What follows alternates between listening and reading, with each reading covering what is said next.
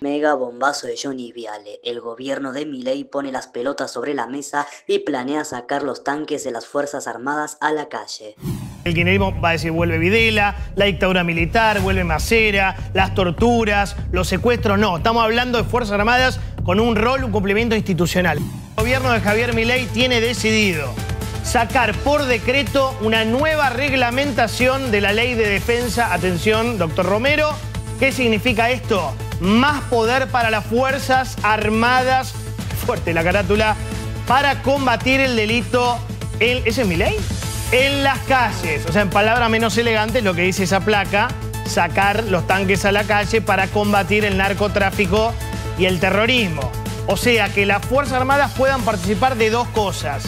Carteles narcos, siempre con cuestiones logísticas, porque acá hay que reformar la ley, sobre todo el decreto Garré, ahora lo va a explicar el doctor Romero, y combatir grupos terroristas. Ahí hay dos ejemplos. Crimen organizado, ¿no? Claro, crimen organizado. Para esto, ¿qué tiene que pasar, Marcelo? Gracias por la invitación. No, buenas noches. Un placer bienvenido. estar nuevamente acá. Sin ninguna duda, el mundo cambió. No existen más las guerras tradicionales de, principios y mitad del siglo XX, un Estado contra otro, plantando la bandera en el territorio extranjero. Nuestras Fuerzas Armadas tienen o tenían una ideología pasada de moda. Hoy en día las guerras se producen en portales de Internet o en terminales de computación. Eh, tranquilamente pueden estar en la otra punta del mundo, en otro extremo del mundo, y ser necesaria una reforma integral del concepto de defensa. Del concepto de defensa, del concepto de, de inteligencia estratégica, es decir, la inteligencia militar, y cuando tenemos una realidad como es el narcotráfico, instalada en la República Argentina, algo que no se puede negar. Si algo le destaco, yo soy Nobel en el Ejecutivo. Claro. Llevo un año Subsecretario de Seguridad, ¿no? de investigación criminal del Ministerio de Seguridad. Sí. Eh, ahí me asombraba, porque en el judicial la esencia es la discusión, Claro. el debate. Cómo había temas que no se podían debatir, estaban prohibidos, no se podía decir delincuente por estigmatizante, no, Ah, se podía, no se podía hablar arancel en la universidad, Ah, claro. era casi... Pacho. eh, no, era eh, como decir una frase contraria a la religión. Claro. Había religiones laicas. Claro. Hoy en día se discute. Y esa discusión, y yo escuchaba a Sabrina, nuestra diputada, eh, coinciden en algunas cosas y en otras no. Y ese debate se lleva a cabo en el Congreso, en las legislaturas, en los estudios de televisión. Y es un avance significativo. Y esto, que estén los militares con un rol mucho más activo que antes, es volver a Videla, a Macera. no tiene- Digo, porque el kirchnerismo está cantado, ¿no? Lo que va a no, eso, esa, esa página hay que cerrarla definitivamente. No, no, yo te digo, Están ni me lo muertos. digas, pero estoy seguro de lo que va a venir ahora, ¿no? Los militares El del kirchnerismo proceso- diciendo es la derecha. Está bien. ¿Los Sí. militares del proceso están muertos o están encerrados? Ok. Eh, Los generales Sí.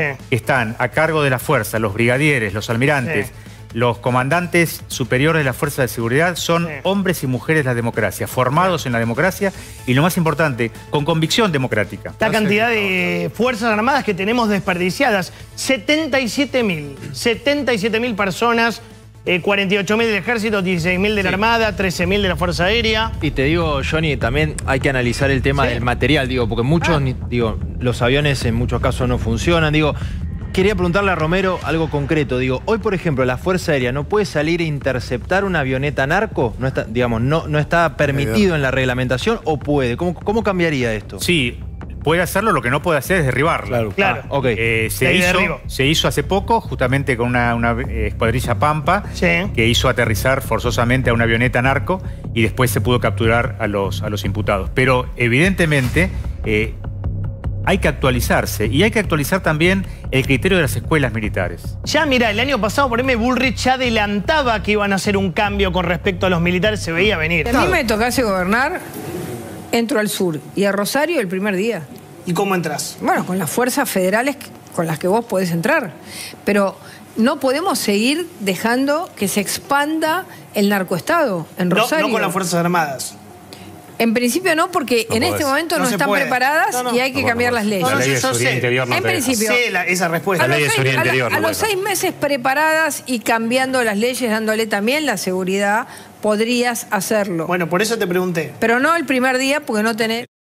Por eso decimos, ojo, porque el kirchnerismo va a decir vuelve Videla, la dictadura militar, vuelve Macera, las torturas, los secuestros. No, estamos hablando de Fuerzas Armadas con un rol, un cumplimiento institucional. ¿Estamos de acuerdo con esto? Sin ninguna duda, con Sí. eh, apoyo logístico, sostén operativo. Sí. Por ejemplo, cuando se trasladan fuerzas federales de seguridad Sí. como la Gendarmería en los aviones Hércules de la Primera Brigada, Claro. la Fuerza Aérea comandada por pilotos de la Fuerza Aérea militares armados con su pistola en el pectoral, transportan Claro. fuerzas de seguridad. Y es una intervención directa en la inseguridad.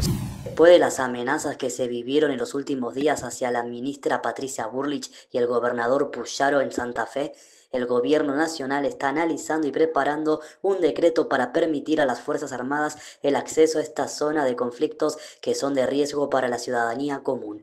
Un cambio de época total a diferencia del kirchnerismo que les permitió el avance y hasta el asentamiento en ciudades como Rosario, algo que se cortó de cuajo desde la asunción de Milei en el poder a través del anuncio del Plan Bandera para combatir a los delincuentes entre el Ministerio de Seguridad de la Nación y el provincial.